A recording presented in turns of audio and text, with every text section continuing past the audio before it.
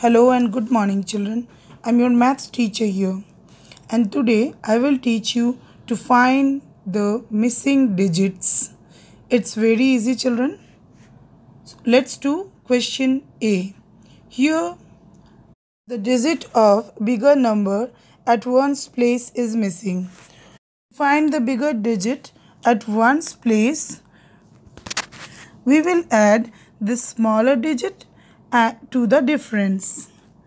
4 plus 3 is equal to 7. So, our missing digit is 7.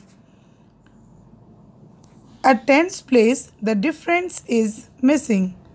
Children, to find difference is very easy.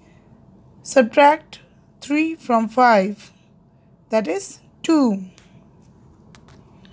In question number B, we have a missing digit of smaller number at ones place. To find it, we will subtract the difference from the digit at ones place of the bigger number. 8 minus 5 is 3. Now let's move on to tens place children. Here the digit of bigger number is missing. So we will add the difference and the smaller digit. 4 plus 2 is equal to 6. Let's do one more question. Question number C.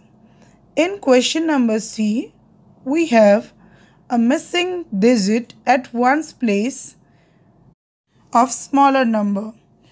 To find that, we have to subtract the difference from the digit digit of bigger number at ones place.